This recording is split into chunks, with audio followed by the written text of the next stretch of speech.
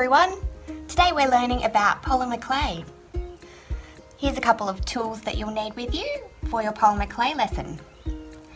You'll need your polymer clay, your rolling pin, some clay tools for sculpting. These come in plastic or wooden.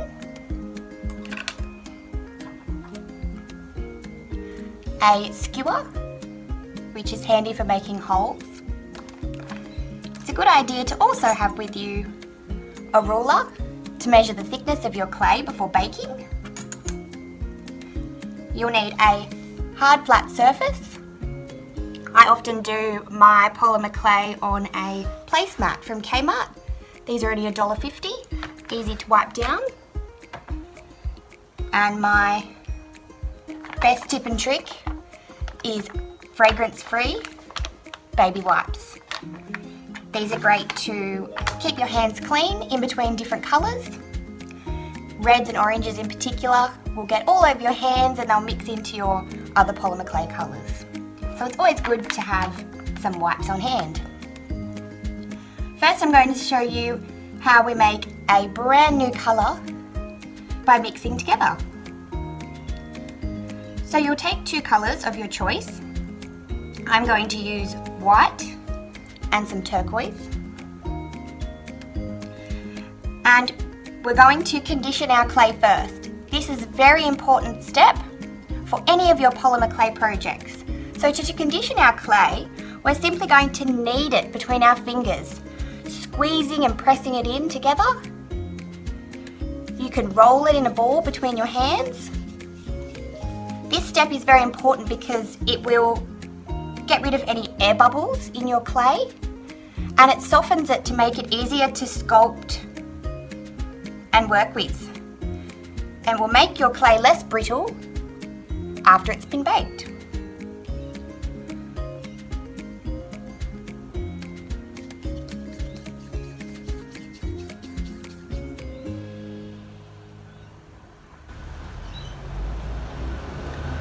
So now that our clay is conditioned, it's nice and soft, we're going to take each colour between our hands and roll a snake. You can place it down on your board and continue rolling. We do that with both colours. And then we're going to place them next to each other. Squish them together and twist. And make a nice long spiral. Once you've made your spiral, you're simply going to squish all your clay together in a ball and keep kneading it until your colours have merged and turned into a brand new colour. We need to use our muscles for this one, squishing in with our hands.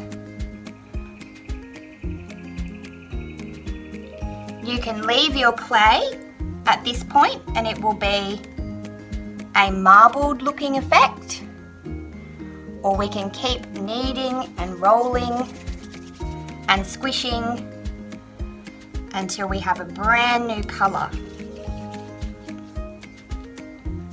You can make pastel colours out of your clay by adding white to any colour. So I've put together the white and the aqua and I've made a pastel turquoise aqua colour. Next I'm going to show you how to make a marbled bead. Again we're going to condition our clay first.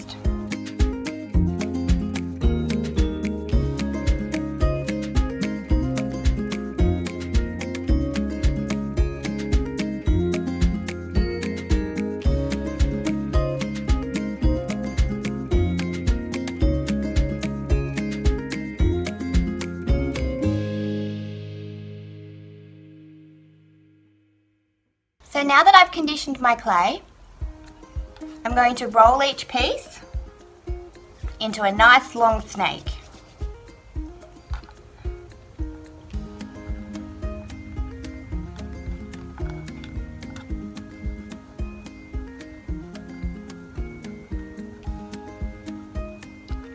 If you would like one colour to be more prominent than the others, you can make a thicker snake so my turquoise is a little bit thicker than my white. I will see more turquoise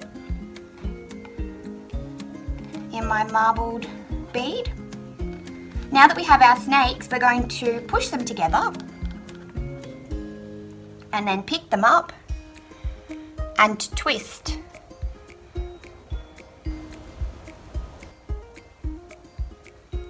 Twisting our long snake all the way to the end. And then we're going to simply make a coil. So turning our snake in so it almost makes a lollipop. And now for the fun part, we're going to squish it all together. Squishing in with your hands. And then roll another snake. You can see the colours already starting to mix together and make some interesting patterns. And we're going to twist for a second time.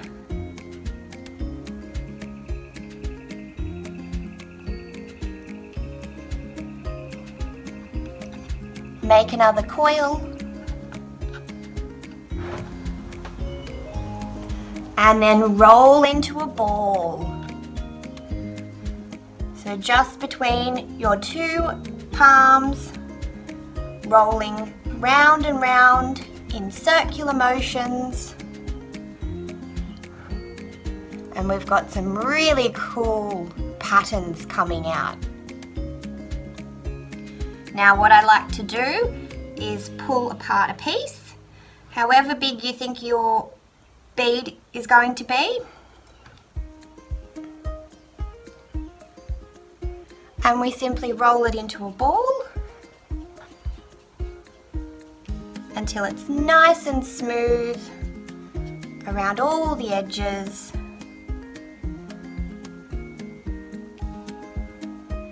And then we're going to take our skewer, place our ball down on the board, maybe squish him down a little bit, and put the skewer directly through the center. It's a good idea to twist your skewer around pick him up, push him through the other side. Now it's always a good idea to turn your bead over and push back through the other side. When you're making a hole for your beads, make sure that you make a good decent size hole, a bit bigger than you think you might need because when the clay bakes, it will actually shrink a tiny bit and your hole might close up a little. So there you have your very first bead. And you can use that to put on a necklace, a bracelet, or maybe even a keychain. Moving on, we're going to show you the slab technique and some other fun projects.